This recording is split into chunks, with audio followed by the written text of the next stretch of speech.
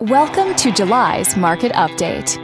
Joyce, your trusted real estate agent, thought you'd find this information helpful and is ready to answer any questions about the local market. Let's take a look at real estate activity in your area during the month of July.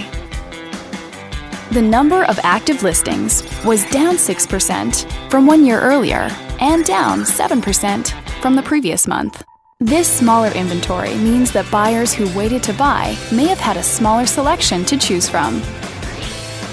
As you can see, the median listing price for the month was just under $800,000. Compared to last year, the average number of days that units spent on the market before being sold was down 22%. This lower number of days may signal a positive trend in the local inventory turnover rate the median sale price was $490,000. The number of units sold decreased 2% year over year and increased 3% month over month.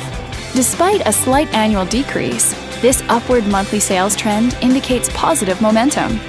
Thanks for watching. We hope you found this video helpful as you gather more information to make smart, informed real estate decisions. If you'd like more information or assistance, please click the button on the screen.